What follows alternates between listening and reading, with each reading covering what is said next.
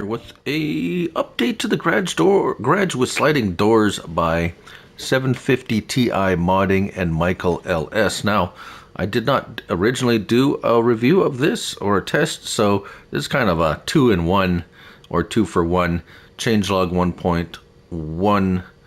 Um, there's been a couple of things. They they have two garages now, uh, so there've been a couple of updates, but we're going to treat this with as a new mod for me anyways.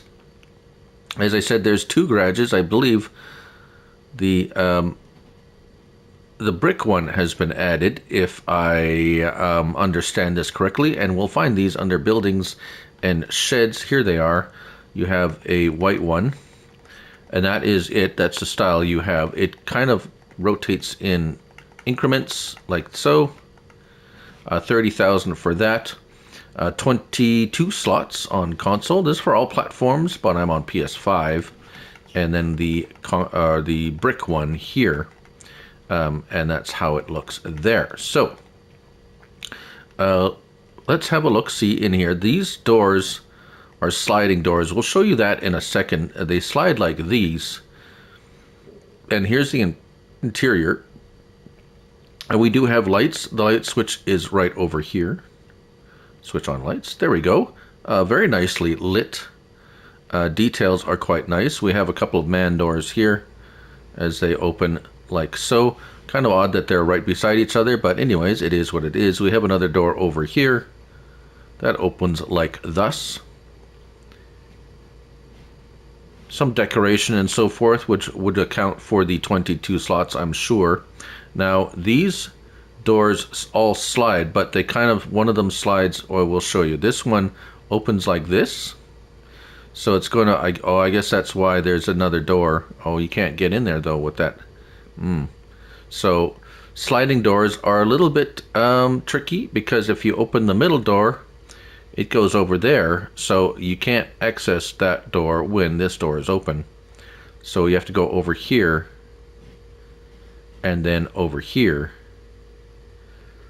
But again, if you have this door open, you can't access one. Even if you open this one, it slides there. Now you've closed both doors and you go over here. It's like, well, okay, so it's a little tricky. You can only use basically uh, two doors at any one time. There, like so. Uh, let's see what. Uh, how big are they? Well, let's get one of these uh, medium tractors here and drive it in there, and then you will see kind of the size. And it just barely fits. Yes, there we go with those twin narrows, and as you see the front end, so barely fit a medium tractor of this type in there like so. Uh, the this other one is exactly exactly literally really exactly the same as the other one just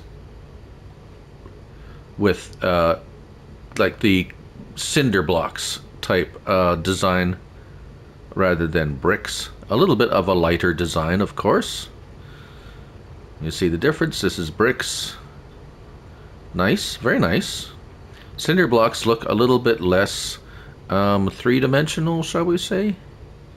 But it is a nice design. It's kind of like plastered, cemented together. And that's pretty much it. There's not a whole lot else to it.